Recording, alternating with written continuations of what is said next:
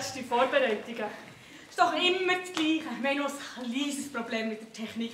Das tut uns Champagner nicht. Wir sind aber gerade so weit. Zur Überbrückung könnten wir ja Gelegenheit nutzen, ein paar Gäste, die heute im Publikum sind, speziell begrüßen. Stimmt, das ist eine gute Idee. Licht, bitte.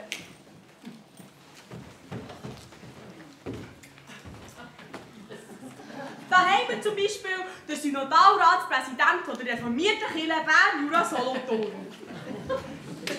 Der Staatsschreiber. Frau Gerichtspräsidentin. Und da Zuschauerin vom Abend. Jetzt liest doch nicht immer nur Prominenz vor. Weisst nicht, was der Bibel steht? Die Ersten werden die Letzten sein. Der Mensch, der halt. Da ist eine KW-Klasse aus Koppingen. Das sind die KW-Kinder, die, die den wunderschönen Traum von einer neuen Welt geschrieben haben. Da ist die Großmutter von zwei Schauspielern. Da der Götti von unserer Maskenbildnerin. Und da, da ist noch etwas ganz Besonderes. Nämlich die Franziska Kühnemann. Eines von den ungefähr 5350 Ur-Urgroßkind von Martin Luther. Jetzt fängst du schon wieder an mit deinen Prominenten. Und abgesehen davon mit dem Luther sind wir etwa alle irgendwie verwandt. Ein Christ muss ein fröhlicher Mensch sein. Wenn man vom Teufel redet. Wenn er es nicht ist, dann ist er vom Teufel versucht. Der Herr Luther, was macht denn ihr da? Ich bin da schon richtig, oder? Man hat mich angefragt für eine Festrede zum Abschluss von der Feierlichkeiten vom Reformationsjubiläum. Nein, jetzt nicht schon wieder. Wir können euch heute am Abend nicht brauchen. Geht bitte zurück auf Wittenberg. Unser Theater soll kein historisches Stück werden. Von denen gibt es jetzt also schon mehr als genug. Und wir wollen auch keine Heldenverehrung und keinen Personenkult. Immer Luther, überall Luther, schon seit einem Jahr geht das jetzt so. Kann ich euch sagen, bin ich froh, wenn das mal ein Ende hat. Wenn wir täten, was wir sollten und nicht machten, was wir Herr. Luther, Dann kommt halt einfach zu uns in den Vorhang. Aber eins kann ich euch jetzt schon sagen. Heute Abend spielt ihr keine Hauptrolle. Wenn es unbedingt muss sein, könnt ihr ja mit einem Chor mitsingen. Stimmt, dort wäre es ja sowieso eine kräftige Mannenstimme. Wenn wir täten, was wir sollten und nicht machten, was wir wollten, dann hätten wir auch, was wir haben sollten. Nun tun wir, was wir wollen und nicht, was wir sollten. Herr Luther, Deswegen müssen wir auch aushalten, was wir nicht wollen. Herr Luther, Ja, schon gut, ich komme ja. Auch noch etwas, bevor wir dann wirklich anfangen. Nur, dass ich es auch noch gesagt habe. Die Handlung von unserem heutigen Stück, die handelnden Personen, abgesehen von den historischen Persönlichkeiten, sind frei erfunden. Wirklich, es ist ja so. Jede Ähnlichkeit mit lebenden Personen sind nicht beabsichtigt, sondern rein zufällig. Der Wein ist stark, der König ist stärker und die Herr Wein... Luther, wirklich Herz!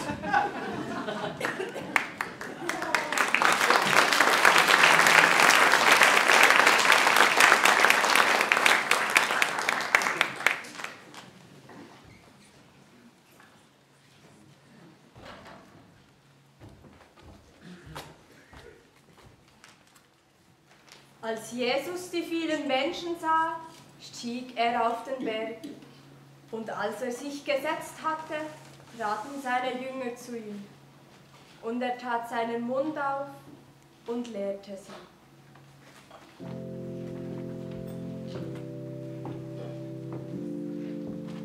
Selig die Armen im Geist, ihnen gehört das Himmelreich.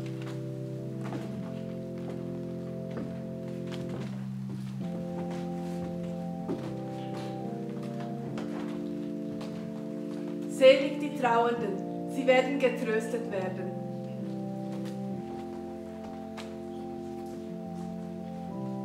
Selig die Gewaltlosen, sie werden das Land erben.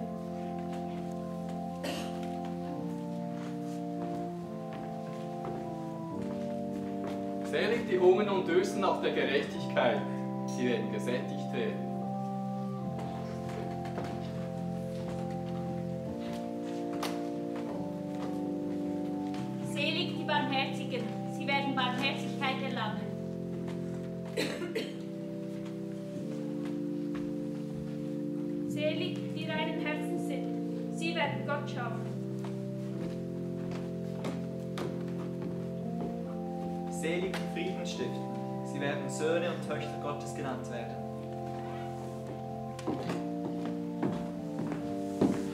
Selig, die verfolgt sind um der Gerechtigkeit willen.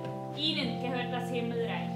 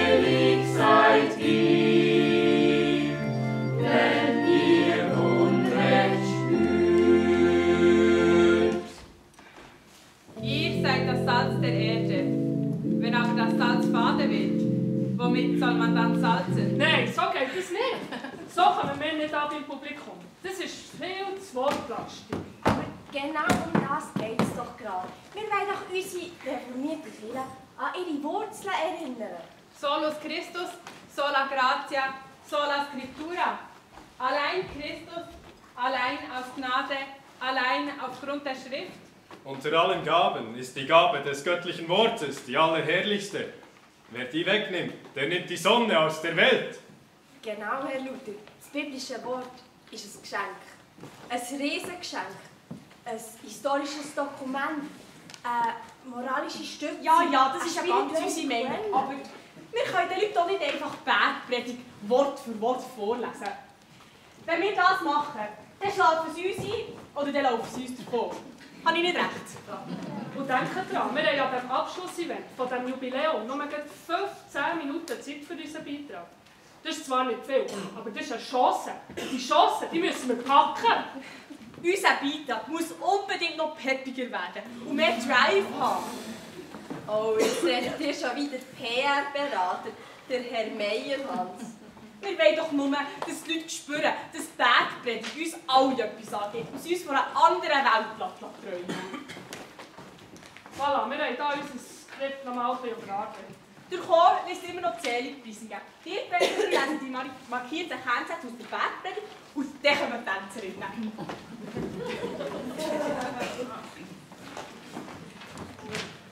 Seid ihr alle parat? Gut, dann würde ich sagen, Bühne frei.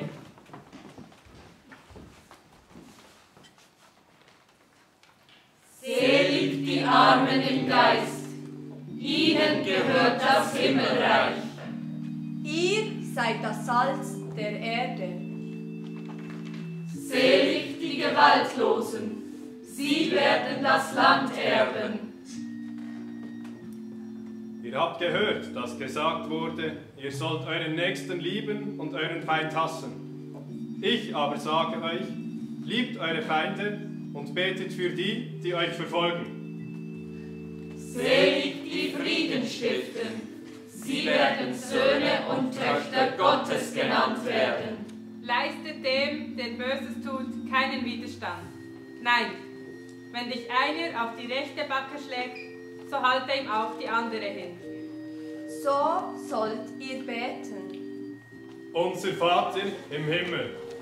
Geheiligt werde dein Name, dein Reich komme, dein Wille geschehe, wie im Himmel, so auf Erden. Unser tägliches Brot gib uns heute und vergib uns unsere Schuld, wie auch wir vergeben unseren Schuldigen.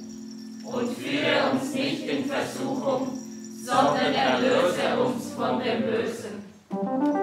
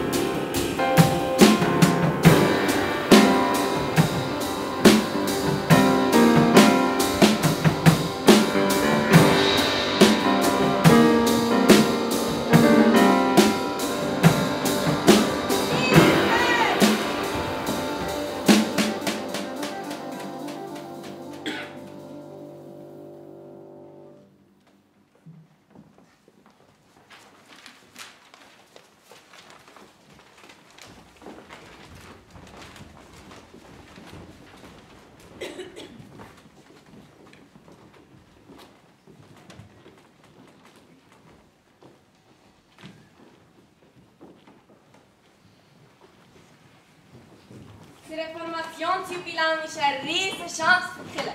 Die müsst ihr packen und euch bis zum Schluss im besten Licht präsentieren. Nein, der Herr, nicht da. Eine so eine Chance wie der Abschlussevent kommt so schnell nicht wieder. Ihr müsst das Gesellschaftsbild von einer offenen, toleranten, aber vor allem modernen Kirche vermitteln. Ja, nicht polarisieren und schon gar nicht politisieren, sondern vermitteln, verbinden und versöhnen. Tut euch eine offene Such- und Weggemeinschaft präsentieren. Ich persönlich würde ja nicht von Gott und Jesus reden, damit ihr nur unnötig polarisieren. So, und jetzt hat das auch noch ein bisschen weiterführen. Redet gescheiter von Engeln, die tun den Leuten nicht weh. Gebt euch eine klare Corporate Identity. Eure Message, euer Visual Appearance, euer Commitment muss auf einer Linie sein. Jeder und jede muss sofort sehen, aha, da haben wir es mit der reformierten Kirche zu tun. Und da trink einen Schluck. Was ganz wichtig ist, ihr müsst den Leuten zeigen, was ihr alles gut macht. Ihr müsst ihnen zeigen, welchen Mehrwert ihr könnt bieten könnt. Das schafft Vertrauen. Es geht um Credibility. Dass die linke Hand nicht so wissen, was sie rechte macht, das ist Passe. Raus aus dem stillen Kämmerlein, raus auf die Straße. Zeigt den Leuten, welche Rolle ihr in der Gesellschaft spielt und welchen Benefit ihr könnt bieten. Und ihr, steht euer Beitrag für Abschlussevent? Schon gleich ist es soweit. Noch 10 Tage und dann feiern wir noch einmal so, wie der Luther vor 500 Jahren seine These ans Schloss durch Wittenberg genagelt hat. Habt ihr jetzt eigentlich noch eine zündende Idee gehabt? Oder wollt ihr immer noch von Bergpredigt ausgehen? Frau Kilchemann, diese Diskussion, die haben wir doch schon geführt. Auch wenn wir noch nicht genau wissen, wie. Die Bergpredigt, die wird bei uns sicher ähm, im Zentrum stehen. Genau. Bergpredigt. ähm, warum eine Bergpredigt? Wir sind doch hier in der Stadt und nicht in den Bergen. Ja, das eigentlich kommt jetzt da über. Die Bergpredigt ist eine Rede von Jesus. Bergpredigt. Bergpredigt. so ein Wort lässt doch heute niemand mehr. Ja, wie wär's mit ähm, Mountain Preaching? Ihr müsst überhaupt ein bisschen mehr auf unser Wording achten. Ja, das ist entscheidend, ob man bei den Leuten ankommt oder nicht. Muss es denn ausgerechnet Bergpredigt sein? Seit es die gibt, hat sie doch nur ein Problem gemacht, so radikal und missverständlich wie sie ist. Und wir wollen doch alle Leute ansprechen. Nehmt doch etwas, das etwas weniger polarisierend und auch politisch nicht so missverständlich ist. Und wie es der Herr Meyerhans, unser Fachmann für Public Relations, sagt, wir sollen vermitteln, verbinden, versöhnen. Und wenn ihr euch schon nicht von Bergpredigt lösen könnt, dann nehmt doch wenigstens nur die guten Regeln daraus. Tut den Menschen all das, was ihr wollt, dass sie euch tun. Die Regeln verstehen alle. Und wir zahlen ihn ja schliesslich auch für seine wertvollen Inputs, so dass unser Jubiläum ein grosser Erfolg wird. Wenn man unsere Kirche sieht, dann kann man meinen, Jesus hätte gesagt, ihr seid der Zucker der Erde oder ihr seid die Butter der Erde und nicht, ihr seid das Salz der Erde. Er hat vor 80 Jahren so gesagt. Die Kirche ist nur Kirche, wenn sie für andere da ist. Um einen Anfang zu machen, muss sie alles Eigentum den Notleidenden schenken. Genau, Herr Bonhoeffer. Kille ist kein Selbstzweck.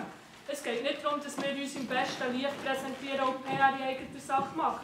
Eine neue Reformation, das ist es, was es braucht. Genau, das Sockel kommt jetzt da über, aber nicht zu weit Und gleich wollen wir doch Erfolg haben mit unserem Stück und die Leute erreichen. Aber Erfolg ist nicht das Wichtigste. Vielleicht ist genau das unser Problem. Statt dass wir Salz auf der Welt uns für Arme und Flüchtlinge einsetzen, sind wir eine Wohlfühloase geworden. Ein bisschen weiter führen, parallel zu dem auf der anderen Seite.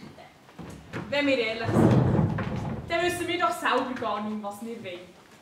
Wir stecken in einer Identitätskrise. Und genau darum stellen wir unseren Beitrag auch Bergpredigt in die Mitte. Ihre Worte rütteln auf und sie lassen uns von einer neuen Welt träumen. Genau, und jetzt muss der Sockel hier in der Mitte noch ein bisschen weiter hingern. Was, was habe ich da gehört? Identitätskrise? Was wollt ihr so sagen? Die Leute werden ja denken, und so viel Prominenz wird vor Ort sein. Das Fernsehen, eine Delegation vom Bundesrat, der Regierungsrat, die Medien. Nein, nein, nein. In Zeiten von leeren Kirchen müssen wir unbedingt... Das wollen wir ja gerade die Kirche an euren Gründer erinnern. Aber doch nicht mit so einem verstaubten Bibeltext, den niemand mehr versteht. Ja, ein Kirchenfans, lass mich bitte ausreden. Ein Kirchenfans-Publikum, die verstehen den Text heute nicht mehr. Das Problem an Bergberg ist nicht, dass man es nicht mehr versteht, sondern dass man es fast zu gut versteht.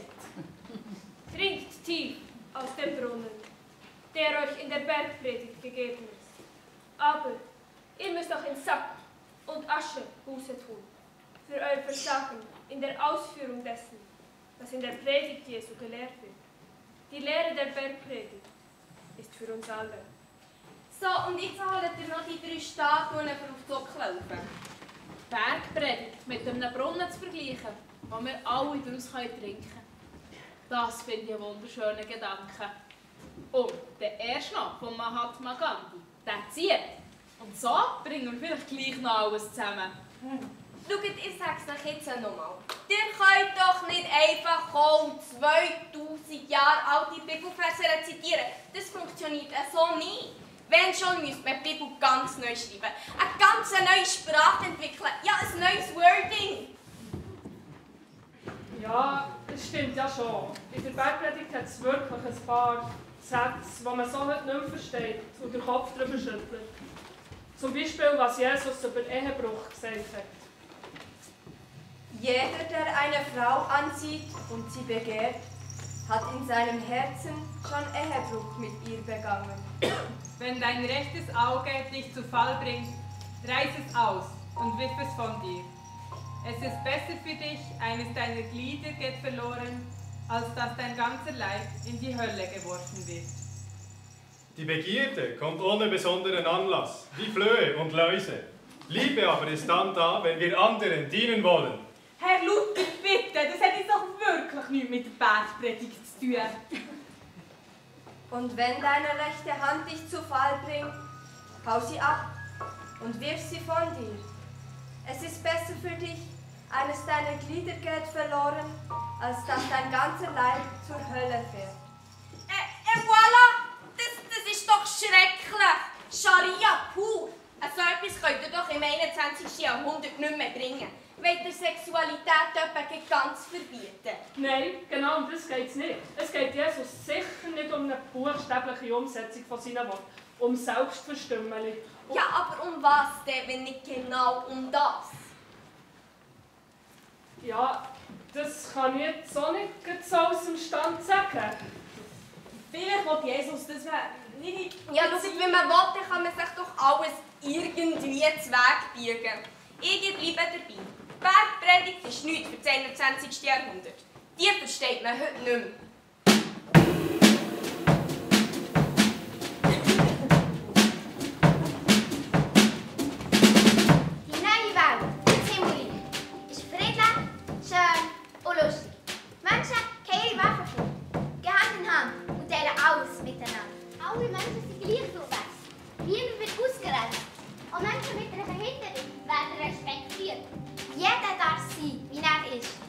Sich nicht vor anderen verstellen.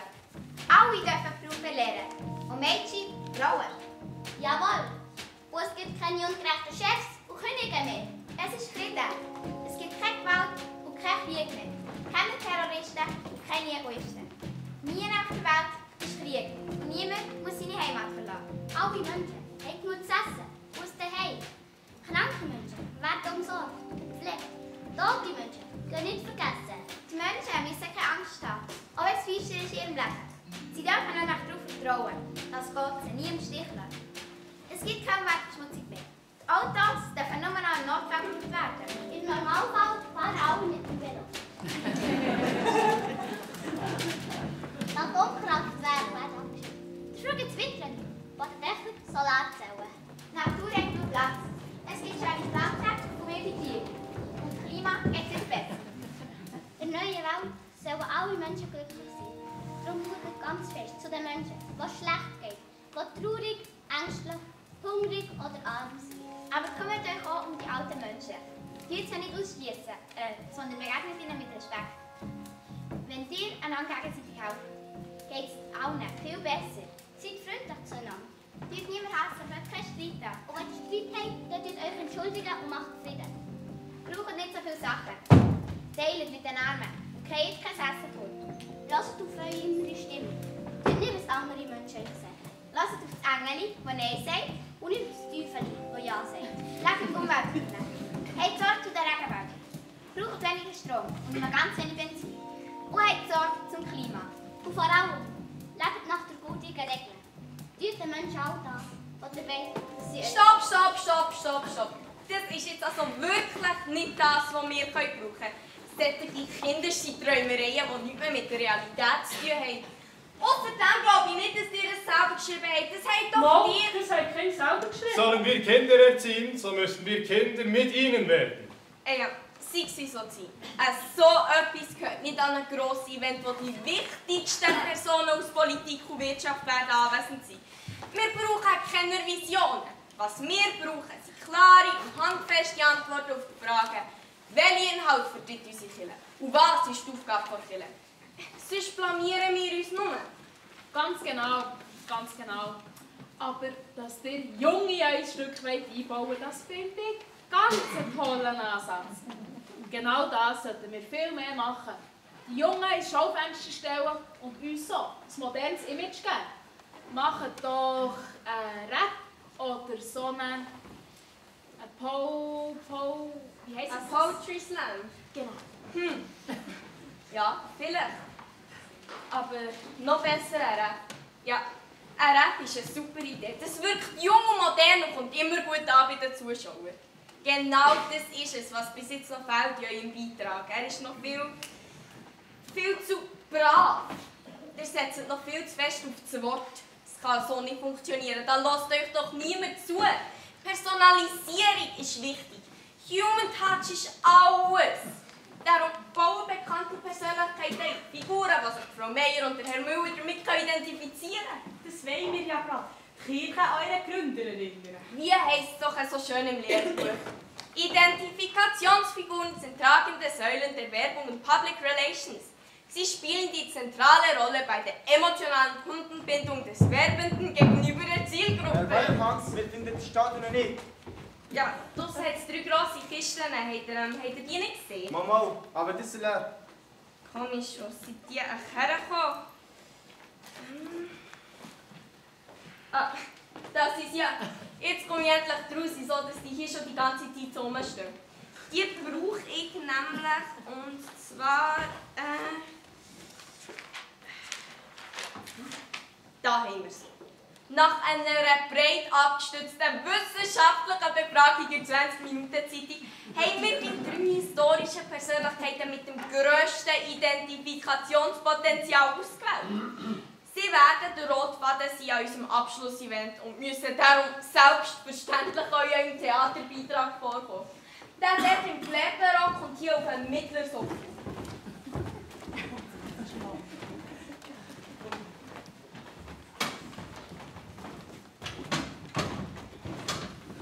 Also, das passt jetzt aber so gar nicht in unser Konzept. Keine Angst. Die drei werden besser zu eurem Beitrag passen als ihr denkt. Da bin ich mir ganz sicher. Da ist zuerst mal der Martin Luther. Ihn müsst ihr natürlich unbedingt nehmen, das ist gar keine Frage. Er ist im Moment hoch im Kurs. In allen Medien berichtet man über ihn. Luther, Luther, ihr zeigt im Bund, im Spiegel, ihr Das BZ. seit mehr als einem Jahr. Man könnte ja mal jemand anderes nehmen. Wir haben in der Schweiz ja unsere eigenen Reformatoren. Das Zürich der Zwingli, das Basel der Ökolapat, das Genf der Calvin, das Bern der... Ja, ja, aus der Region für die Region. Das ist doch ein Ziel. Oder nicht? Die Schweizer sind äußerst robuste Menschen. Doch weil sie in den Bergen wohnen, treiben sie keinen Ackerbau, sondern haben nur Wiesen. Es ist doch nicht mehr denn Berg und Tal. Deswegen melken dort in den Friedenszeiten sogar die Männer und machen Käse. Herr Luther! Calvin, Zwingli, Ökolampat. Alles Namen, die heute niemand mehr kennt. Oder kann mir vielleicht jemand von euch sagen, wie das der Berner Reformator geheißen hat? Eben, den kennt heute niemand mehr. Ausser vielleicht noch ein paar Studierte. Der Luther hingegen, ja, den kennt jedes Kind. Längt es nicht, dass sonst schon die ganze Welt so tut, als gäbe es keinen anderen Reformator außer dem Luther? Müssen wir jetzt auch noch in den Chor einstimmen? Der Abschluss von einem Reformationsjubiläum ohne den Luther. Nein, das geht nicht. Unvorstellbar. Die ganze Welt redet von ihm. Und er lässt sich auch bestens vermarkten.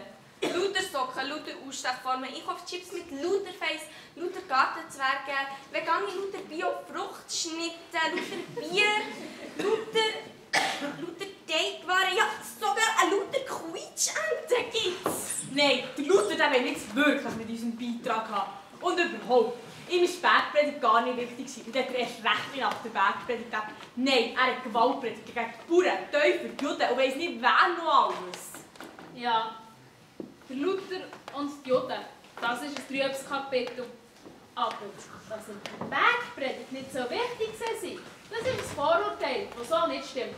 Ganz im Gegenteil. Und auch sonst hat er viel Grossartiges geleistet.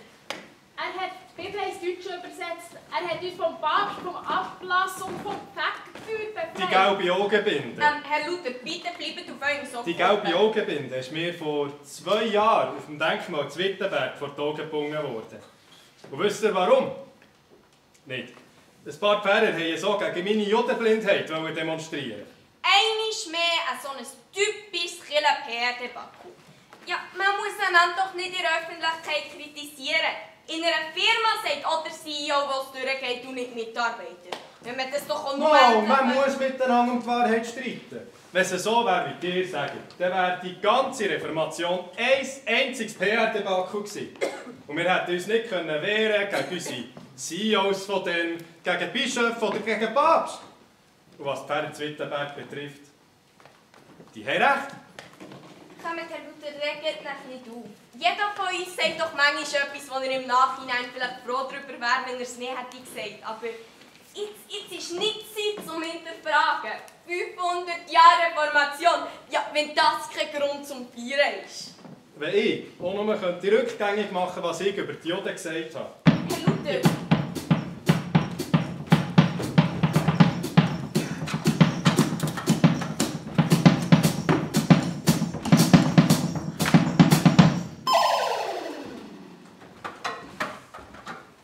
dann masslos enttäuscht, dass sich die Juden nicht, wie ich gehofft habe, zum Christentum bekehren Das hat mich derart wütend gemacht, dass ich einen langen Forderungskatalog aufgeschrieben habe, was man mit den Juden machen sollte. also Herr Luther, Schrecklich, was ich da geschrieben habe. Ich will meinen treuen Rat geben, dass man ihre Synagogen und Schulen mit Feuer anstecke, dass man ihre Häuser zerbreche und ihren Rabbinern bei Leib und Seele verbiete zu lehren. Schrecklich. Absolut sch- schrecklich. Und es geht noch weiter. Also Herr Luther, Am Schluss, am. Schluss habe ich sogar noch den Satz geschrieben. Deswegen nur weg mit ihm. Und so einen stellt man im Jahr 2017 noch auf so einen Sockelhaufen. Wieso so negativ? Der Luther zu kritisieren ist total im Trend. Früher hat man ihn über einen grünen Klee gelobt und hagelt es nur noch so von Kritik. Aber das kann es doch nicht sein. Man kann es doch auch übertreiben mit Selbstkritik. Herr Luther, zeigt uns doch mal, wie das, denn mit eurem Thesenanschlag gegangen ist. Es war ja nicht meine Idee, gewesen, dass man Denkmäler aufstellt von mir und mit so einem Held aufstilisiert, der ganz Deutschland, ja, durch die ganze Welt zieht und an jedem die passende und unpassende Tür seine 95 Thesen schlägt. Aber wenn sie es so wollen, auf einmal mehr oder weniger kommt es jetzt auch nicht mehr drauf an.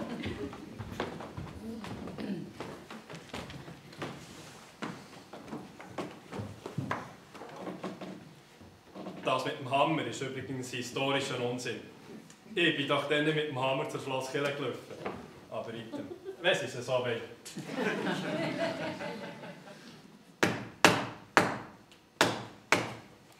Super, Herr. Einfach super. Genau so kennt man euch aus dem Film und von den Büchern. Genau das ist es, was die Leute sehen wollen. Der Herr Dr. Martinus Luther ist ein engagierter und mutiger Kämpfer für unsere Freiheit. Super, einfach genial. Und wenn ihr schon dran seid, dann zeigt uns doch auch noch gut, wie das, das denn gegangen ist mit eurem unübertrefflichen Slogan. Nein, nein, hier stehe ich und ich kann nicht anders. Der ist ja gar Doch, nicht von doch, mir. Doch, doch, doch, das ist ein genialer Spruch. Ich kann euch sagen, ihr wäret ein super Werbetexter. Ich, ich würde euch sofort für mein PR-Büro engagieren. Wisst ihr was? Nützen wir das doch aus. Verteilt ihr eure guten Sprüche doch hier unter den Leuten. Seid, seid ihr sicher? These 45. Man soll die Christen lehren, dass jener, welcher seinen Nächsten darben sieht und diesem ungeachtet dessen einen Ablass kauft, nicht den Ablass des Papstes erhält, sondern den Zorn Gottes auf sich zieht. Oder These 11. Die Meinung, dass eine kirchliche Bußstrafe in eine Fegefeuerstrafe umgewandelt werden könne, ist ein Unkraut, das offenbar gesät worden ist, als die Bischöfe schliefen. Ablass. Fakt für kirchliche Bußstrafe.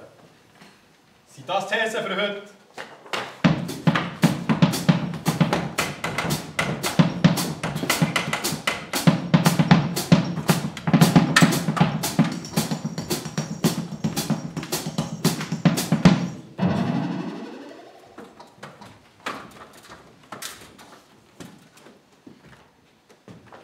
500 Jahren waren meine Thesen ein voller Erfolg. Überall hat man sie diskutiert. Aber heute. Ablass. Da weiß kaum jemand, was das ist. Als wegführt, glaubt zum Glück auch niemand mehr. Nein, heute muss man andere Sätze an Kirchentüren schlagen.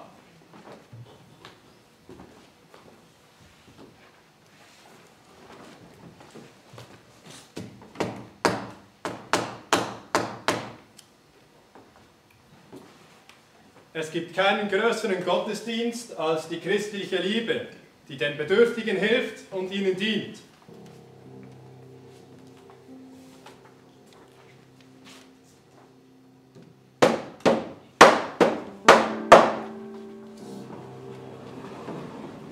Wenn Gott keinen Spaß verstünde, so möchte ich nicht im Himmel sein.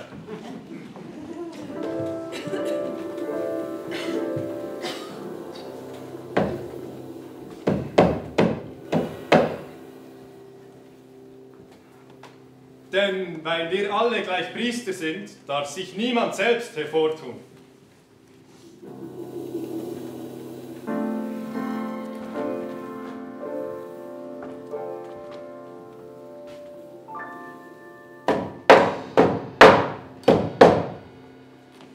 Ihr könnt nicht Gott dienen und dem Mammon.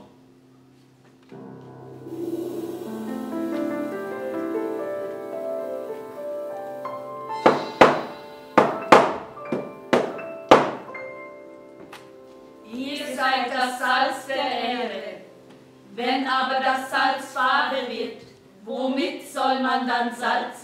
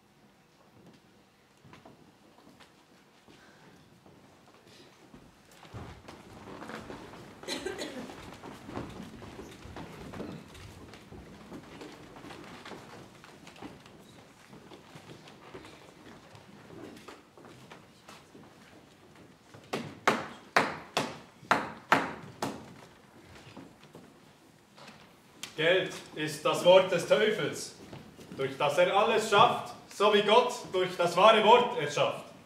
Herr Luther, Herr Dr. Luther, geht jetzt bitte zurück auf euren Sockel. Es ist jetzt gut. Wollt ihr mich schon nicht mehr als Berater ja im PR-Büro? Meine Texte eignen sich auch hervorragend als Tweets. Die sind nämlich kaum länger als 140 Zeichen. Martinus Luther, hört jetzt auf, euch einzumischen und geht zurück auf den Sockel. Lasst mich ein bisschen feiern, das habt ihr doch verdient. Also mir hat der Thesenanschlag gefallen. Irgendwie wird mir der Luther immer sympathischer. Absolut authentisch. Der Martinus Luther. Endlich jemand, der Klarheit gestellt ist, gegen um heißen Brei herum. Assistenten, kommt und stellt den Martin Luther sofort zurück auf seinen Sockel. Nein, nein, bleibt nicht nur, wo ihr seid. De Luther, der ist ja kein von den Schwelben. Was nützt der uns dort oben? Der Herr Luther, bitte. Halt, nein. Der Luther bleibt, wo er ist.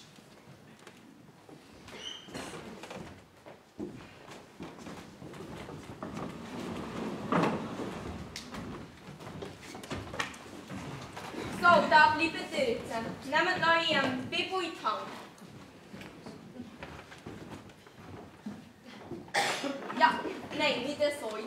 Die Hand und dann die rechte Hand drauf. Und jetzt äh, euren rechten Fuß noch bisschen abdrehen und die linke Schulter noch bisschen führen. Sehr schön. Das Kinn geht rauf. Und jetzt noch euer berühmter Blick in die Mitte. Das habe ich ja nur falsch gemacht. Schon zu meinen Lebzeiten hat es solche gegeben, die sich selber als Lutheraner bezeichnet haben. Lied. Wir brauchen Lied. Und richtet ihn wieder her, so dass es eine Gattung macht. Ich habe es ja schon anno 1522 gesagt. Und ich sage so heute, ich bin kein Heiliger. Man muss sofort sehen, dass er das Zentrum ist von dieser Vier. Dass die reformierte Kirche alles zu verdanken hat. Wie käme denn ich, armer, stinkender Madensack, dazu, dass man die Kinder Christi bei meinem heillosen Namen nenne? Noch ein Noch ein Schon als ich im Sterben war, sind sie gekommen und haben Holzspäne von meinem Bett mitgenommen. Also, äh, so zweckgerichtet auf diesem Modell stehen kann ich mit dem Luther nicht mal fahren. Dort oben hat er überhaupt keinen Pfiff mehr. Was ist das schon für eine Botschaft, wenn er so steif und langweilig dasteht? Also, ich muss euch wirklich gratulieren, Herr Meyerhans. Euch ist es meisterhaft gelungen, den Herrn Luther ins richtige Licht zu stellen. Fantastisch. Wirklich fantastisch. Danke, Frau Kühlmann. Danke. Und mir ist es auch so lieber, wenn der Herr Luther auf seinem Sockel oben bleibt, als wenn er wieder runterkommt und Radau macht. Der Luther als Kirchenmitglied? Nein, danke, der würde in der kürzester Zeit alles auf den Kopf stellen. Et voilà, ein Grund mehr, den Martinus Luther auf einen Sockel aufzustellen. Und er sieht doch auch ganz flott aus dort oben, oder etwa nicht? Wollt ihr denn nicht auch noch mit Zuwa geprüften Stahlseile sichern, damit er dann auch noch an Janum oben runterkommt und wieder Getränk ummacht? Dann kommen wir jetzt also zu unserer zweiten historischen Persönlichkeit mit Identifikationspotenzial. Hier haben wir uns für, und das ist noch einigermaßen überraschend gekommen, für, ähm, für, äh, eine Sekunde. Wie heisst jetzt der nochmal, der, der, der mit den Vögeln? Franz von Assisi. Genau, für den Herrn Franz von Assisi. Er wird eine zentrale Rolle spielen an unserem Abschlussevent, weil, ähm, weil... Geht's noch? Warum jetzt noch ein Heiliger aus dem Mittelalter? Weil er sich, wie der Herr Luther, für die Erneuerung der Kirche eingesetzt hat. Genau darum haben wir ihn gewählt. Wer sich für die Erneuerung der Kirche eingesetzt hat. Ja und?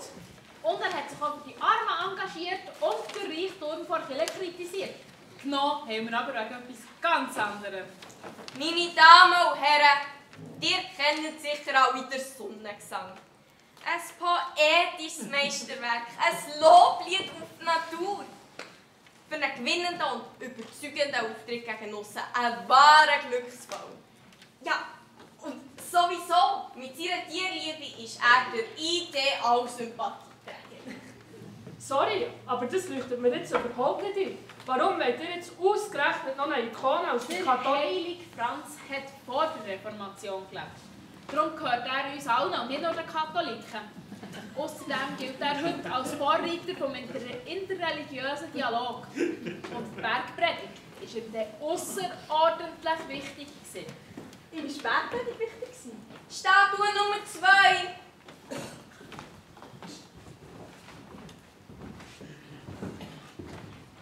Signore e signori, mi spieghi suchen, ich bin ja schon da. Darf ich mir vorstellen, Francesco Bernardone, besser bekannt unter dem Namen Francesco d'Assisi. Freut mich sehr, Herr Panettone. Bernardino, darf ich bitte? Per l'amor di Dio! Seit 800 Jahren immer das Gleiche. Anstatt sich mit meiner Botschaft auseinanderzusetzen, stellt man mich auf ein Podest. Anstatt Kirche zu reformieren, versucht man sie damit zu stabilisieren. Aber wenn ihr darauf besteht,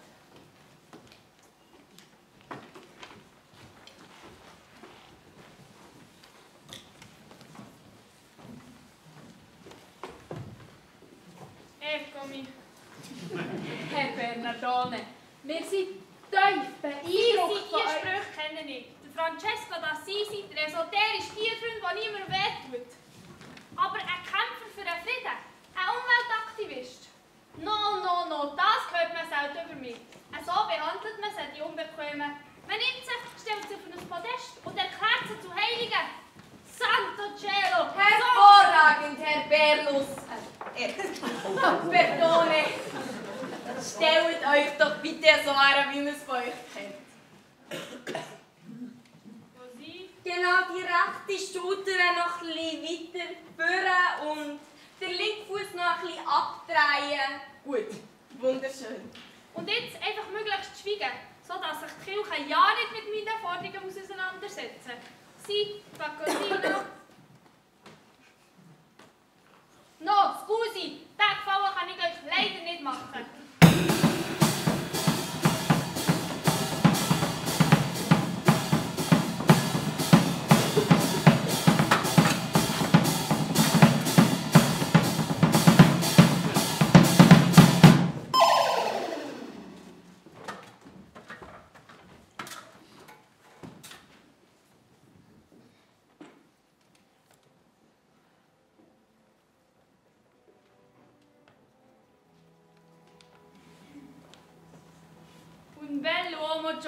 Bin ich.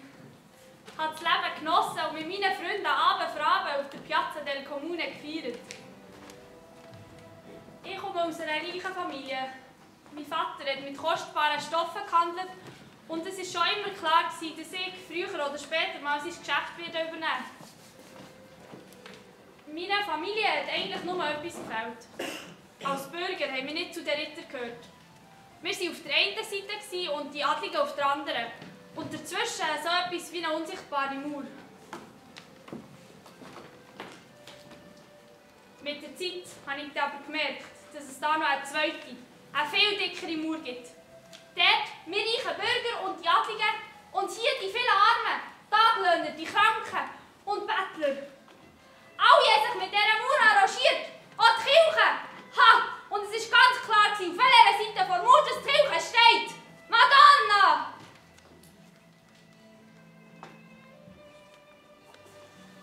Begegnung mit den Aussetzungen hat mir aber die Augen aufgetan für das Elend auf der anderen Seite der Mauer. Und ich habe gemerkt, wenn ich Christus auf dieser Welt suchen will, dann muss ich ihn hier suchen. Es war der Gebet im baufälligen Kirchli San Damiano von der Stadt draussen, wo ich die Stimme von Christus gehört habe. Francesco, siehst du nicht, dass mein Haus am Verkehren ist? Gang und bau es wieder auf. Der tiefe Sinn von diesen Worten habe ich erst mit der Zeit verstanden. Geschwärmt haben sie von ihm. Ein vielversprechender junger Mann sei er. Ein guter Geschäftsmann. Ein mutiger Krieger. Intelligent. Und er ist noch schön. Und jetzt? Was ist aus meinem Sohn geworden? Er ist drauf und dran, mein ganzes Geschäft zu ruinieren. Tutto! Vor ein paar Tagen hat er ein paar von meinen wertvollen Stoffbauen genommen. Er hat es auf sein Ross geladen und ist mitten auf Foligno geritten.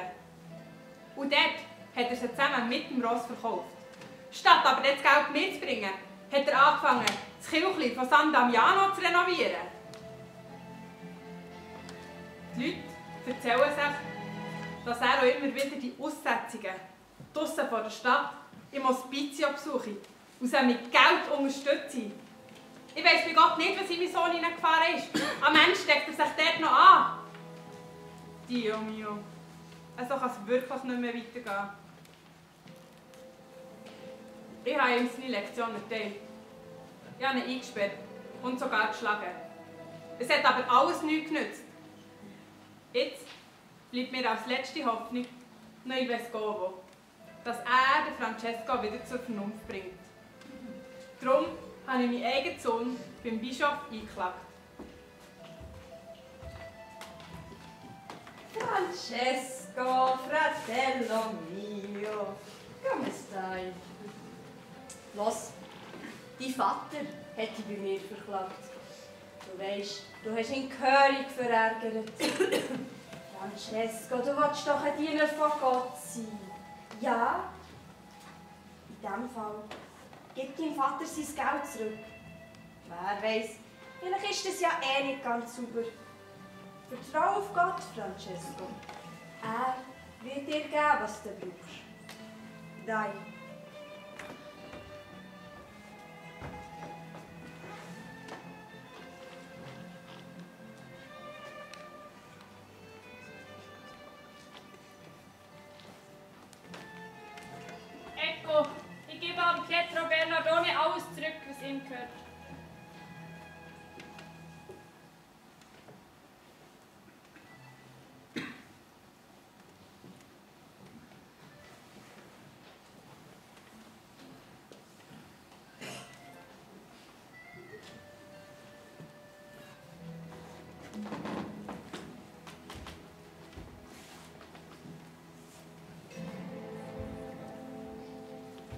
Bis jetzt habe ich immer zu ihm gesagt, Padre mio, mein Vater. Von heute an sage ich, Padre nostro che sei nei cieli, unser Vater im Himmel. Francesco, dass du und deine Brüder gewaltlos nach der Bergpredigt leben das macht mir Eindruck. Und gleich frage ich mich, seid ihr nicht zu hart und zu kompromisslos, wenn ihr auf allen Besitz wollt verzichten Wenn wir Besitz anhäufen, dann brauchen wir auch Waffen, um ihn zu verteidigen. Vermögensberatung Waldmeier. Guten Tag, wie kann ich euch weiterhelfen? Eine Vorsorgeanalyse. Sehr gerne. Privatbank Vorbereitung, guten Tag. Anlage mit höheren Renditen. Hm, nicht einfach für diese Zeiten. Aber ich glaube, ich habe da schon etwas. Was euch ist unter die Lebensversicherung ist Säule 3. Mehr Sicherheit bei plötzlichem Erwerbsausfall. Oder eine garantierte Rendite Kantonale Sparkasse oder Service, guten Tag. Eine höhere Rente, da kann ich euch sehr gerne Das ist für den Rohstoffsektor. Da kommt der Ist der von Bürgertherapie, das ist positiv. Ich meine, das ist zwar schon Das wiederum wäre sicher Unsere Anlagestrategie, das sind soziale, ökologische und wirtschaftliche Kriterien schon relevant. Aber das sagt, wenn wir gerade in unserer nächsten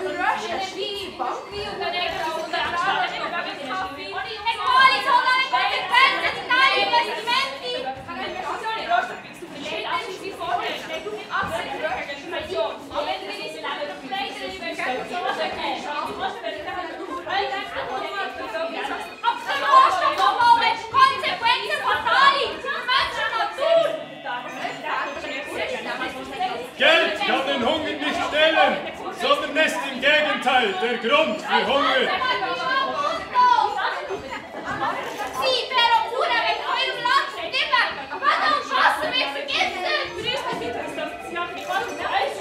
Was geht denn? Wie soll ich verlieren? Was sie denn verlieren? Was sie denn verlieren? Verlieren sono i poveri! Die, die sich das Brot nicht mehr leisten Vermögensberatung Waldmeier. Guten Tag, wie kann ich euch weiterhelfen? Eine Vorsorgeanalyse.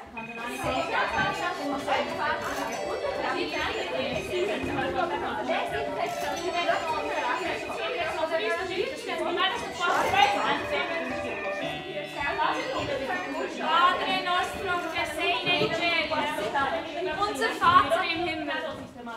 Wer so betet, der weiss, dass wir Menschen alle Brüder und Schwestern sind. Und unter Geschwistern darf es keine Verlierer und keine Gewinner geben. Es ist unmoralisch, auf Kosten von seinen Schwestern und Brüdern einen Gewinn zu machen. Man spekuliert nicht mit dem Essen der Armen. Man macht nicht seine Schwester kaputt, Madre Terra, nur um sein Reichtum zu vermehren. Padre nostro che sei nei cieli, sia santificato il tuo nome, venga il tuo regno, sia fatta la tua volontà, come in cielo anche in terra.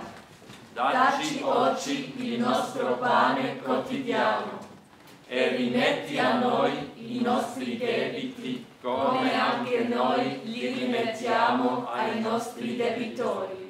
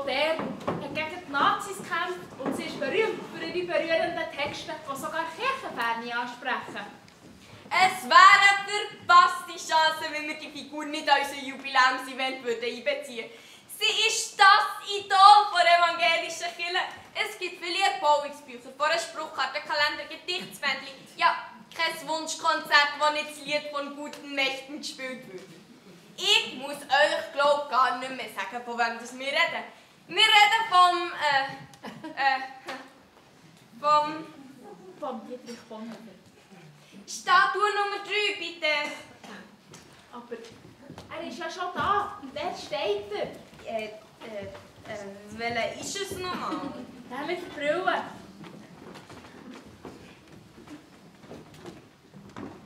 Es tut mir leid, ich bin nicht der, den ihr sucht. In dem Fall müsst ihr Herr Bonhoeffer sein. Nein, ich bin auch nicht der, den ihr sucht. Aber schaut, da steht er ja schon. Ich möchte Heiliger werden. Ja, das hat ein guter Freund mal zu mir gesagt. Wir haben dann darüber geredet, was wir mit diesem Leben anfangen wollen. Zugegeben, sein Wunsch hat mich zwar schon beeindruckt, doch gleich war meine Antwort eine andere. Ich habe nicht wie er gesagt, ich möchte Heiliger werden, sondern ich habe gesagt, ich möchte lernen glauben. Kommt, Herr Bonhoeffer, bitte geht zurück auf euren Sockkuchen. Schaut nur den Martin Luther und den Francesco Bebone hier. Die sind schon oben. Dort oben? Ich, eine stumme Statue in eurem Reformationsfestspiel? Nein, nein, da müsst ihr noch jemand anderes suchen. Bitte, gebt uns als Kirche einen grossen Dienst. Und schminken müssen wir auch noch, also dass man das Gefängnis so, so, so richtig ansieht. Ein paar schwere Augenringe möchte es gut vertragen. Das wirkt und beeindruckt. Das glaube ich sofort. Die sind euch gefallen. Warum müssen nur immer alle so ein Theater machen? Mich wundert es ja, dass ihr die beiden anderen überhaupt dort aufgebracht habt. Ganz freiwillig sind ja die auch nicht dort rauf. Seht ihr, und schon wieder ist es so weit.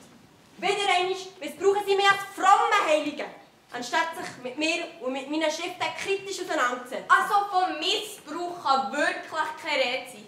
Menschen wie dir tun der Kirche einfach gut. Das hat manchmal seinen Vorgesetzten der Kirchenleitung müssen sagen. Die wären doch noch so froh gewesen, wenn sie diesen unbequemen Pfarrer wären losgeworden. Schaut, ich erkläre euch unser Konzept jetzt neu. Diese Sockelaufen stellen wir Vorbilder. Ha, Vorbild. Das sind. Zum Heiligen weiss ich mich machen. Endlich wird sich mal einer richtig gegen die Schnapsidee. Ja, es ist doch klar, warum Menschen wie der Luther, der Franz von Assisi und ich immer wieder auf Denkmäler aufgestellt werden. Die Menschen sehen euch einen eindrücklichen Christ, der noch in schwierigen Zeiten kann helfen glauben. Ein Pazifist, der probiert hat, nach der Bergpredigt Aber es weiss doch gar niemand mehr, für was wir uns wirklich eingesetzt haben. Zum Beispiel ist der Bonhoeffer überzeugt, dass ein Christ, der nach der Bergpredigt unmöglich mit der Waffe kann Militärdienst leisten Ein Skandal zu seiner Zeit. Tu den Mund auf für die Stummen. Oh, du meine Güte, es geht ja alles auseinander. Die Kirche muss doch für die Armen und Verfolgten einsetzen. Das hat dann zumal in Amtskirche schon niemand gehört. Und jetzt will man ihn noch auf den Sockel lüpfen. Aber Herr Bonhoeffer... Versteht mich nicht falsch. Gegen Vorbilder habe ich gar nichts. Auch ich hatte Vorbilder. Gehabt. Nur der Krieg zum Beispiel hat verhindert. Sie sind mein grosses Vorbild. Der Mahatma Gandhi nicht auf Indien besuchen. Ich hatte sogar schon eine Einladung von ihm. Gehabt. Ja, Vorbilder brauchen wir alle. Aber nicht weggespülte heilige Abhaben unerreichbar auf Socken. Nein, vergesst es. Auf diesen Sockel steige ich nicht rauf. Nehmt doch jemand anderes, wenn ihr etwas findet. Bravo! Herr, Herr Meyerhans, ich glaube, das ist sinnlos. Der Herr Bonhoeffer bringen wir Sack rauf. Ich glaube, wir müssen uns Alternativen überlegen. Nein, ganz sicher nicht. Ich will Statuen auf diesen Sockeln. Statuen!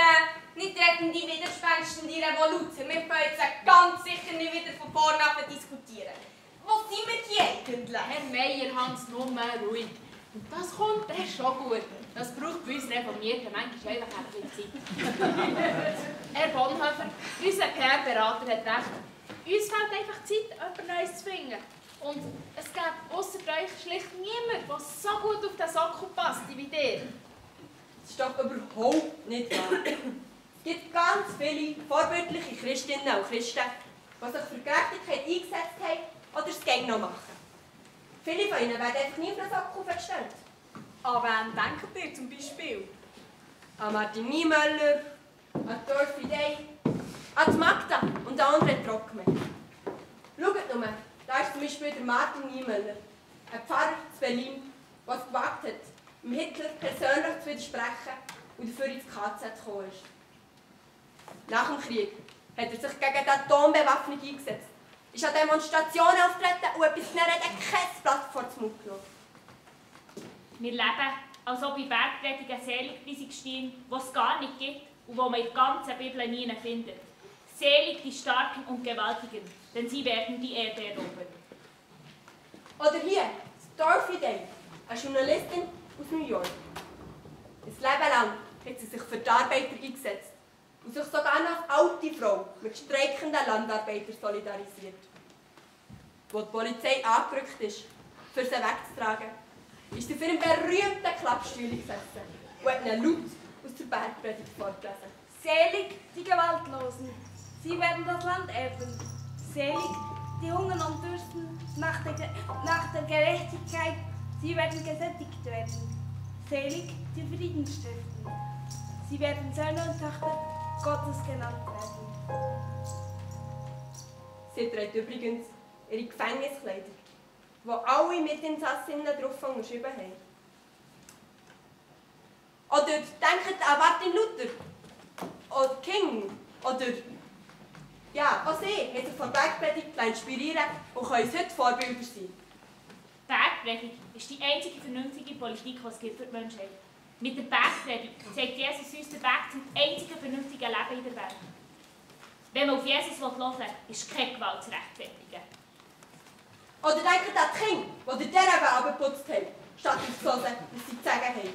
Ihr habt gehört, dass gesagt wurde, Auge um Auge und Zahn um Zahn. Ich aber sage euch, leistet dem, der Böse tut, keinen Widerstand. Nein, wenn sich einer auf die rechte Backe schlägt, so halte ihm auch die andere hin. Es langt. Ich habe genug gehört. Es muss jetzt einfach jemand auf den Sack rufen. Mein Konzept nach Herr Meierhamster, wie wär's, wenn wir Dorothy verjährten? Wir können uns ja nicht wirklich leisten, keine Frau auf den Sack aufzustellen. Kilkamann, das kommt nicht in Frage. Dorothy Day, der Martin Himmler, die sind viel zu politisch. Ich kann mich nur wiederholen. Mit der Bergpredigt sollte man keine Politik machen. Politiker wollen von Kirche doch nicht ein 2000 Jahre altes Stück voll Sozialromantik aufdiktiert bekommen.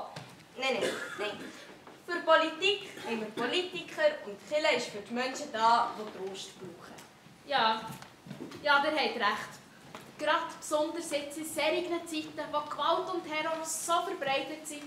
Was es jetzt braucht, ist eine Kirche, die den Menschen Mut und Trost spendet. Die Bergpredigt soll nicht tröstlich sein, das stimmt doch nicht. Ohne Visionen wie die von Bergpredigt würde ich auf dieser Welt nicht aushalten. Visionen, Visionen! Wer Visionen hat, soll zum Doktor gehen. Der Bundeskanzler Schmitz recht gesagt. Nein, es ist genau umgekehrt. Man wird krank, wenn man keine Visionen mehr hat. Nicht so heftig, das sind doch gar nicht so... Visionen sind doch nur Wunschträume. Also etwas für, für Kinder, aber nicht für erwachsene Personen. Ich stehe dazu, ich brauche Visionen. Gerade auch die vor Bergpredigt. Sie erinnern mich daran, dass die Gewalt auf dieser Welt nicht das letzte Wort hat. Herr Meierhans, wir sollten langsam vorwärts machen. Und der dritte Herr besetzt. seht ihr denn nicht, dass sich die Personen, die ihr für euer Konzept habt ausgelesen habt, der Herr Bonhoeffer, der Franz von Assisi und der Martin Luther, nicht einfach so aufs Sockel aufstellen? Die wollen mitreden. Und genau das sollen sie auch. Wisst ihr was? Wenn ihr, wenn ihr unbedingt alle wollt mitreden ja, dann lassen wir doch unsere Zuschauer und Zuschauerinnen entscheiden, wer auf dem dritten Sockel soll stehen. Ja, genau euch meine Jeder und jede von euch hat eine Stimme. Alter, Nationalität und Konfession spielen keine Rolle. Wer also soll bei unserem Grossabschluss-Event auf dem dritten Sockel stehen? Zur Auswahl steht Kandidat Nummer 1. Der Dietrich Bonhoeffer. Ich muss mit der Bergpredigt ernst machen. Hier setzt die einzige Kraft, die den ganzen Zauber und Spuk mit einmal in die Luft sprengen kann, bis von dem Feuerwerk nur ein paar ausgebrannte Reste übrig bleiben. Kandidatin Nummer 2. Dorothy Day.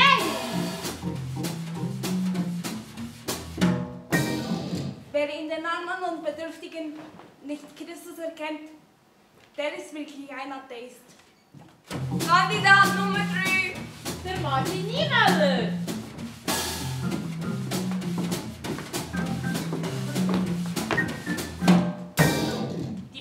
Die Bergpredigt ist die einzig vernünftige Politik, die es für den Menschen gibt. Und Kandidat Nummer 4. Der Papst Franziskus. Ah, aber der ist doch katholisch.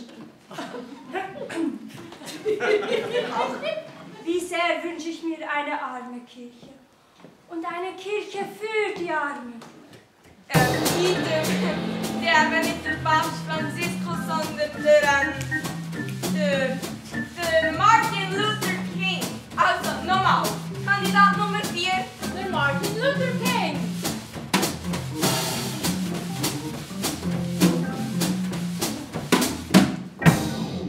Die Liebe, auch zu unseren Feinden, ist der Schlüssel, mit dem sich die Probleme dieser Welt lösen lassen. Jesus war kein weltfremder Träumer, sondern ein praktischer Realist. Kommen wir also zur Abstimmung. Eine Stimme pro Person, nicht zwei, nur eine. Stimmenzähler, wir brauchen Stimmenzähler. Wer also gibt seine Stimme am Kandidat Nummer 1? Am Dietrich Bonhoeffer. Los, kommt, stimmt ab.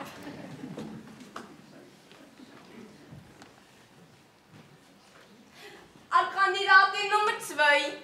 An Dorothy Day.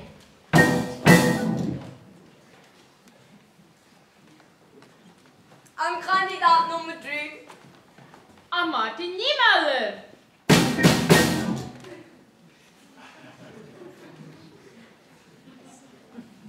Und am Kandidat Nummer 4. An Martin Luther King.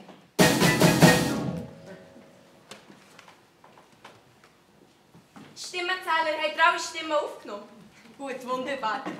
Wer also bei unserem grossen Abschlussevent auf dem dritten wird stehen, liebe Damen und Herren, liebe Kinder und Jugendliche, ja, das erfahrt ihr nach einer kurzen Pause. Werten wir das jetzt eigentlich aus?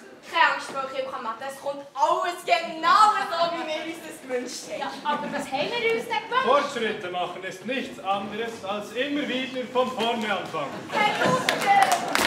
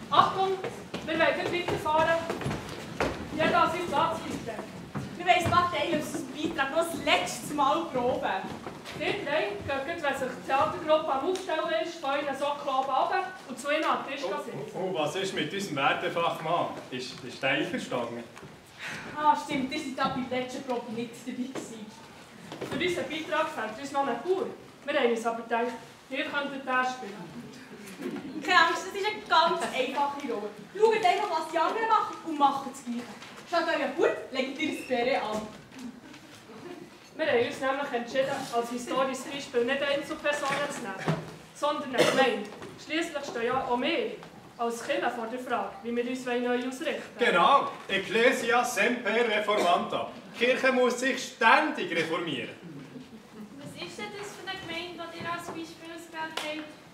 Ich hätte da natürlich auch noch Ordensgemeinschaft anzubieten. Es ist ja schon ein kleines französisches Dorf südlich von Lyon in den Cevennen. Wie da eine einfache Gemeinde während dem Zweiten Weltkrieg hat Widerstand geleistet, ist eindrücklich.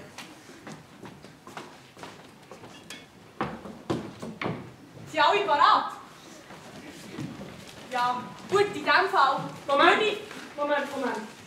Die Zeitangabe ist ja noch ganz falsch.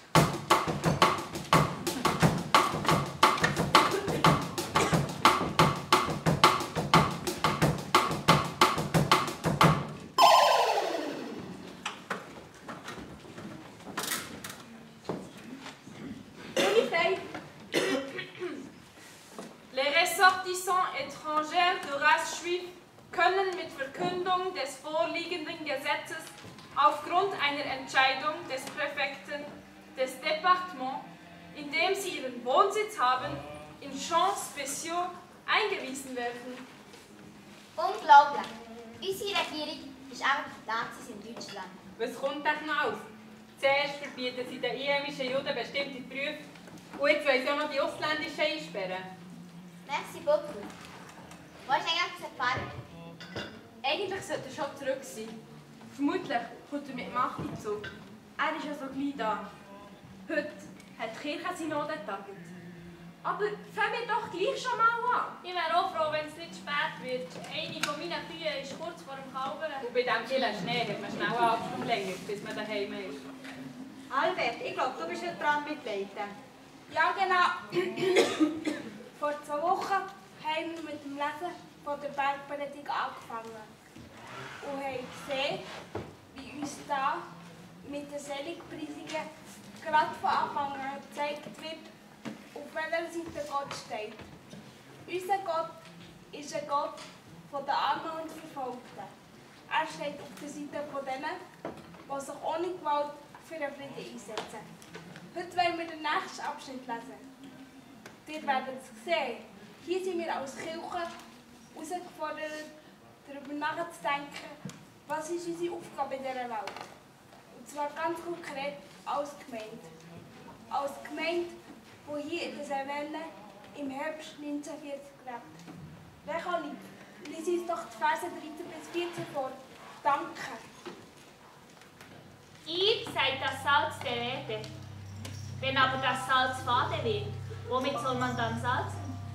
Es taugt nichts mehr, man wirft es weg und die Leute zertreten es. Ihr seid das Licht der Welt. Eine Stadt, die oben auf einem Berg liegt, kann nicht verborgen bleiben. Sehr gut, sehr gut. Einfach ja nicht an Tempo verlieren. Fallt einander mal ins Wort, so wie wir es im richtigen Leben ja auch gerne machen. Herr Luther, euer Bäre, nicht vergessen, in dieser Szene seid ihr ein einfacher Bauer. Jetzt überspringen wir also wieder einen Teil und ähm, setzen dort ein, wo der Charles vom Buch fährt an zu erzählen. Wir müssen uns unbedingt wehren, was da mit dem Nationalsozialismus auf uns zukommt. Es ist schlimm. Ich habe es zuerst auch nicht geglaubt. Aber das Büchlein da, das hat mir die Augen aufgetan. Das Dorf auf den Bergen, es ist jetzt ganz neu auch auf Französisch rausgekommen. Es beschreibt das Leben in einem kleinen, abgelegenen Dorf auf einem Berg in Deutschland und zeigt eindrücklich, wie brutal die Nazis vorgehen. Aber auch wie sich das Dorf bald anfangen Da, nehmt.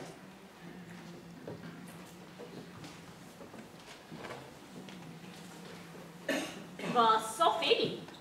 Ja, nehmt für jedes Mitglied von eurem Hauskreis eins mit. Jetzt, wo ohne unsere Regierung mit den Nazis zusammenarbeiten, ist es doppelt wichtig, dass alle wissen, was da läuft und auf uns zukommt. Lasst das Buch und diskutiert es miteinander. Wie bist denn du zu diesen vielen Büchern gekommen? Hast du geschmuggelt? Aus der Schweiz? Äh, sorry, muss jetzt von hier oder von der Tenne? Von der Tenne. Gut, weiter. Hast du geschmuggelt? Aus der Schweiz? Das ist jetzt nicht so wichtig. Wichtig ist, dass ihr alle das Buch lesen. Hm, wir sind also ein Ablenkungstor am Ende der Welt. Salz sollen wir sein. Ein Licht, auf einem Berg. Bonsoir, mes amis. Bonsoir, André. Es tut mir leid, dass ich erst jetzt. Ist es gut gegangen als Synode? Nein, schrecklich ist es. Gewesen. Sie haben meinen Vorstoß abgelehnt. Einfach abgelehnt. Und so etwas, wo die Kirche sind. Um was ist es gegangen? Ich wollte, dass wir als Parlament alle protestantischen Gemeinden auffordern. Kommt in den Schweif, schützt die Juden. Und das haben sie abgelehnt? Ja. Der Präsident hat gemeint, das können wir nicht machen. Weil wir so unsere reformierte Kirche gefährden. Wir Protestanten sind selber im Visier vom Hitler. Und darum gehen sie jetzt zuerst um unser eigenes Überleben. Müssen wir unseren Präsidenten vielleicht an die Bergpredigt erinnern? Salz soll sein und nicht danken. Herr Präfekt, was macht denn ihr bei uns? Mesdames, Messieurs, excusez-moi für die Störung. Ich wollte nur sagen, dass die französische Regierung angeordnet hat, Wir müssen allen Dörfern und Städten Zahlen der Juden eruieren. Ich bitte euch darum, entsprechende Liste zusammenzustellen. Monsieur le Préfet, ihr könnt euch sparen, noch das 2-2 hierher zu kommen. Wir wissen nämlich nicht, was ein Jod ist. Wir kennen nur Menschen. Herr Trockme, ich rate euch eins. Passet auf. Es gibt etwa sieben Leute hier in Le Chambon, die mir regelmässig berichten, was da geht bei euch. Bonne soirée. Et prenez garde, monsieur le pasteur. Der Vogel singt nicht anders, denn ihm der Schnabel gewachsen ist. Lauter keine Sprüche nicht Nicht vergessen, in dieser Szene seid ihr ein einfacher. Und Wir haben nur noch 15 Minuten. Wir überspringen darum jetzt wieder ein bisschen. Ähm, das Treffen von den Responsables ist Ende und sie machen sich durch schnell auf den Heimweg. Hey ja, ihr könnt gehen. Der André Trockner geht zurück in sein Büro und die Fassküche ist nur noch Magda, seine Frau. Herr Luther, ihr habt euer Bären auf dem Tisch vergessen. Ach, je. Aber Vergesslichkeit ist auch nicht immer schlecht. Herr Luther! Die Welt zum Beispiel ist nur durch die Vergesslichkeit von Gott entstanden. Herr Luther! Ich meine, Gott hat die Welt auch kaum erschaffen. Wenn er nicht vergessen hat, was Menschen alles für schreckliche Waffen erfinden. Herr Luther, wirklich, wir müssen jetzt weitermachen. Die Magda ist am Einfühlen, genau.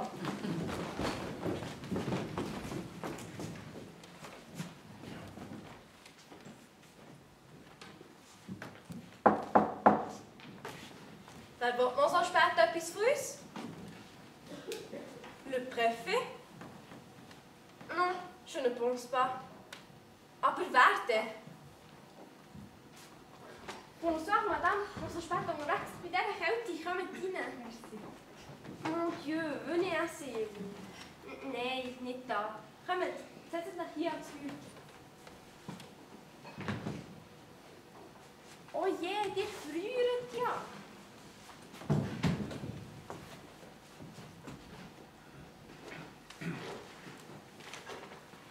Da, nicht die Decke. Merci beaucoup, Madame. Oh je, eure Sandalen sind ja ganz nass. Kommt, wir tun sie hier am Feuer trocknen.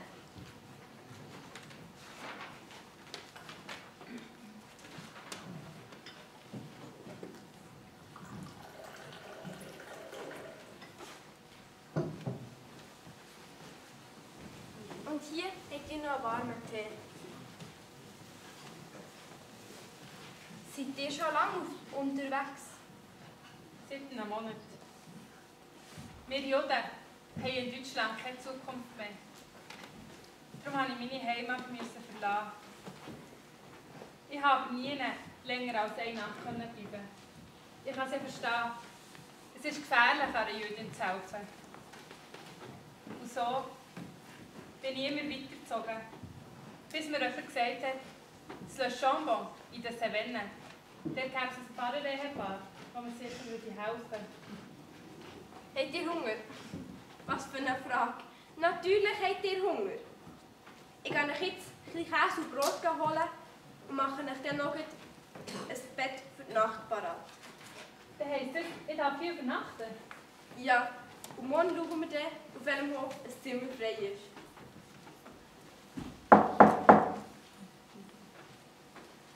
Kommt denn jetzt noch? Le Préfet? Non, je ne pense pas. Aber denn? Bonsoir, Madame. Was so spät unterwegs bei dieser Kälte? Kommt rein. Merci, Madame. Mon Dieu, venez asseyez-vous. Nein, nicht da. Kommt, setzt euch dort ans Feuer. Oh je, ihr friert ja.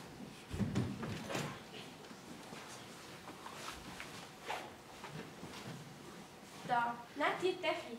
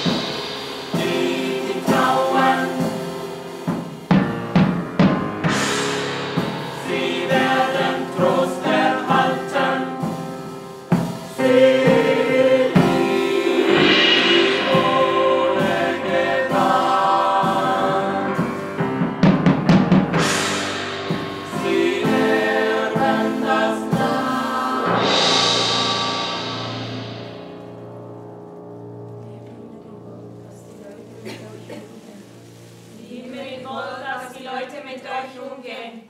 Wie immer ihr wollt, dass die Leute mit euch umgehen. Wie immer ihr wollt, dass die Leute mit euch umgehen. So geht auch die Regierung um.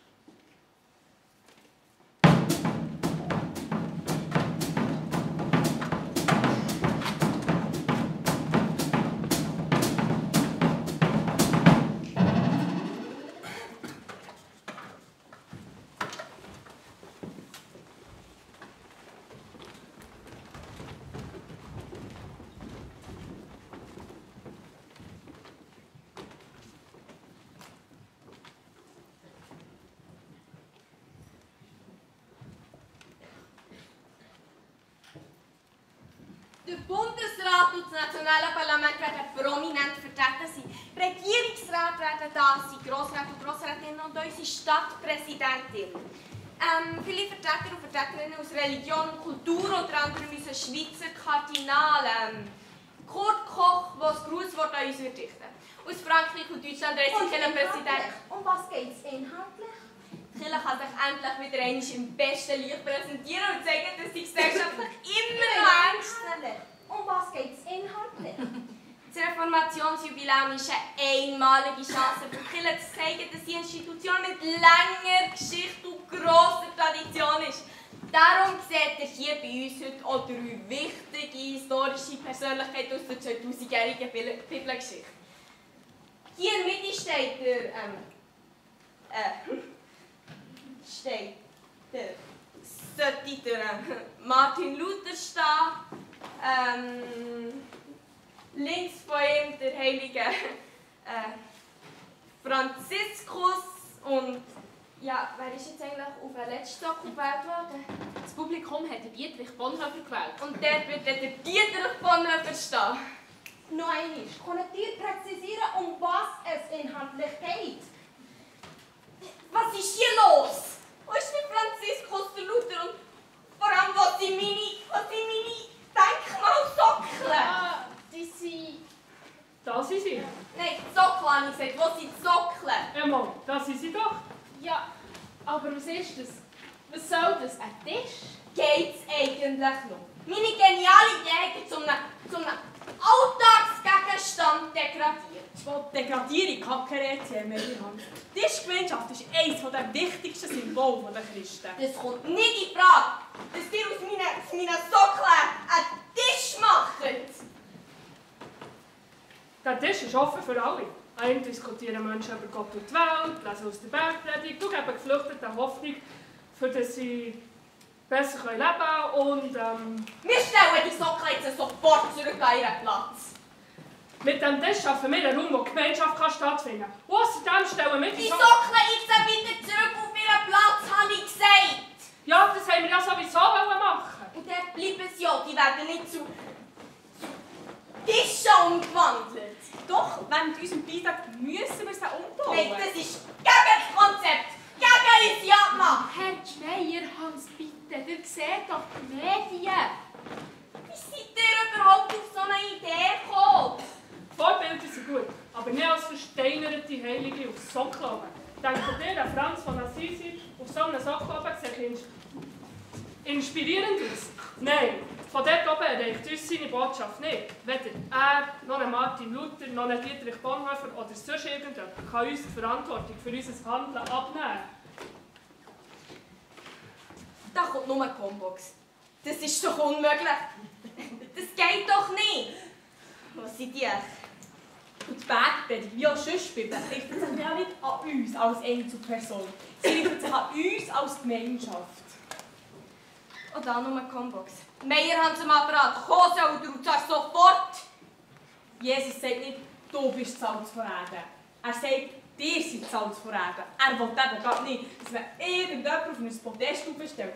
Er will, dass wir als Gemeinschaft Verantwortung übernehmen. Ich, ich kann doch nicht warten, bis die vielleicht einmal Gnade haben, ihre Combox abzuholen und dann zurückzuleiten. Darum haben wir uns entschieden, für unseren Beitrag das Beispiel von den Bäuerinnen und Bauern von Le Chambon zu nehmen. So wird's bald. Ah, nein, doch ab. Dort willst du da nur eine Combox? Dort war es nicht nur der Pfarrer, der gehandelt hat. Oder seine Frau, die Güte bewiesen hat. Nein, dort war es eine ganze Gemeinde, ja sogar ein ganzes Dorf, das eingestanden ist für die Gerechtigkeit und für die Würde der Menschen, wo sie gemeinsam an eine bessere Welt geglaubt haben. Auch sie hätten können sagen, das Boot ist voll.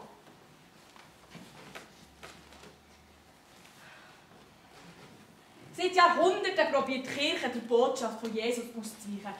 Die Bergpredigt hat für uns kaum noch eine Bedeutung. Ja, da kommt mir gerade der Kurt Marti in den Sinn. Er hat einmal die Frage gestellt, ob nicht einfach alle Theologie eine Flucht von den radikalen Aussagen von Jesus in einer Bergpredigt sei. Endlich! Wo seid ihr? Wenn wir ehrlich sind, dann spielt Jesus in unserer Kirche höchstens noch eine Randrolle. Wir können ja ganz gut ohne ihn. Ja, was tun wir Cafeteria am Kaffee trinken? Geht's eigentlich noch? Kommt sofort auf. Solus Christus, sola gratia, sola scriptura. Alleine Christus, alleine aus Gnade, alleine aufgrund der Schrift. Sind die reformatorischen Grundsätze bei euch nicht ganz verloren gegangen? Nein, nein, nein, nein, nein, nein, nein, nicht in fünf Minuten, jetzt sofort! Eigentlich ist es ja eigenartig, dass gar niemand auf die Idee ist, Jesus auf ein Podest zu stellen. Wenn das nur noch gut kommt. Du hast recht. Wenn wir schon anfangen, Leute auf so Sockel zu stellen, dann sollte Jesus Christus der Erste sein von ihnen, der dort oben steht. Er hat uns die Vision von einer neuen Welt nicht nur erzählt, sondern noch vorgelebt. Aber auf ein Podest gehört er gleich nicht. Er gehört an unsere Seite. Schnell, schnell, kommen, stellen die Denkmäler wieder auf. Und an denen wird dann während dem ganzen Event nicht mehr dran rumgespielt. Es tut mir leid, für uns ein bisschen... Männer, klar, dort ist die Idee, Rodrik, jetzt allein, jetzt wird nicht mehr diskutiert. Ihr könnt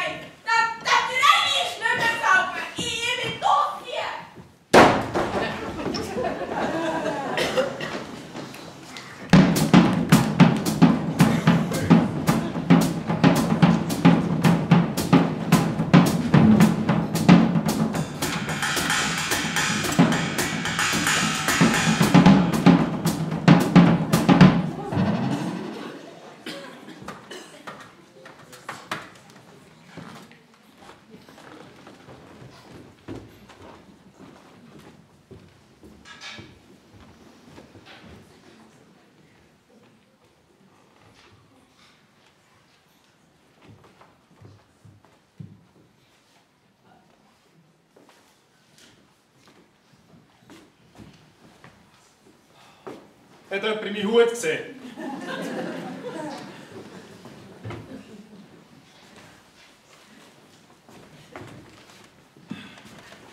Wo habe ich jetzt den wieder hergelegt? Deine Rolle fällt sich langsam auf dich ab. Du fährst ja gegen mehr an Minuten das Gleiche. Schau gescheiter, dass deine Rolle nicht auf dich abfällt. Schau, da ist er. Und da habe ich dir auch noch ein paar Giveaways von unserem Abschlussevent. Lauter Tafeln. Hey, da seid ihr. Alles hat geklappt, ihr habt das echt super gemacht. Ja, schon, aber die eine Szene habe ich schon wieder vergeben. Habt ihr es gemerkt? Nicht? Wenn wir täten, was wir wollten und nicht sollten, was wir Nein, machen. eben nicht! Es geht so. Wenn wir täten, was wir sollten und nicht machten, was wir wollten, dann hätten wir auch, was wir haben sollten. Doch nun, tun wir, was wir wollen und nicht, was wir sollen. Deshalb müssen wir auch aushalten, was wir nicht haben können. Herr Luther, Herr Dr. Luther, bitte geht zurück auf euer Sockel. Es ist jetzt gut.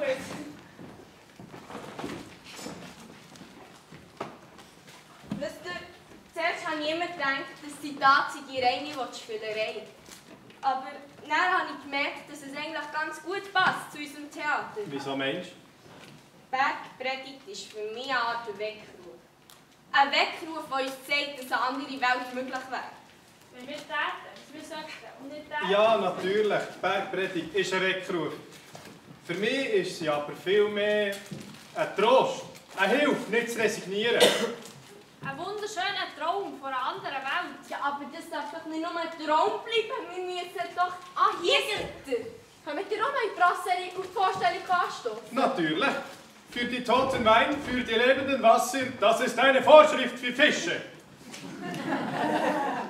Sauft, dass euch das Unglück ankomme. Die werden nicht alt werden, denn das Beste vom Menschen vergeht in der Trunkenheit. Seid ihr nicht schon lange heimgegangen? Der perfekte Retter hat nach doch fortgeschickt. Stopp, stopp, stopp, stopp. Jetzt auch wirklich nicht das, was wir brauchen können. Solche kindische Utopien. Nein, so einfach lassen wir uns nicht abschiefeln. Wir haben eine andere Idee, wie wir die Leute dazu zu bringen, uns zuzulassen. Aber das ist spät. Der Jubiläumsevent ist vorbei. Die Leute sind heim. Es ist nie spät. Vielleicht hat der Meinhans ja recht gehabt, als er gesagt hat, unsere Ideen können nicht eine grosse werden. Höchstwahrscheinlich hat es alle nur ein Schnüssel gefunden, dass wir herzige Kinder das sagen.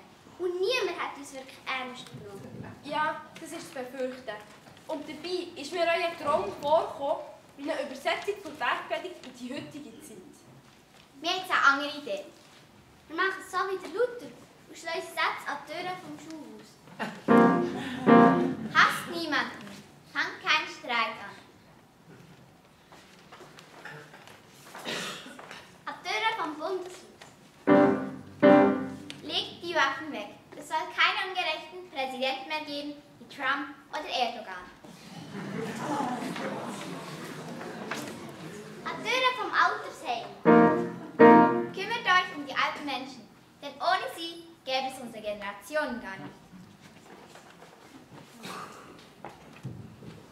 Türen von Uni.